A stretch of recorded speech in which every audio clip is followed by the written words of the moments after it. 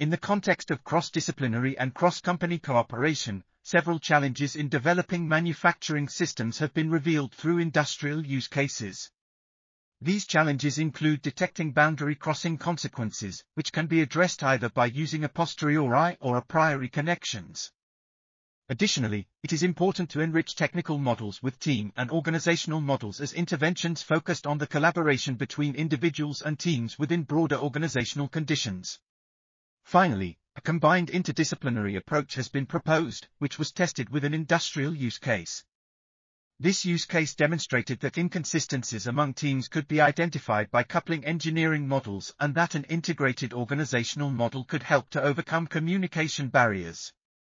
This article was authored by Birgit Vogel-Heuser, Markus Böhm, Felix Brodeck, and others.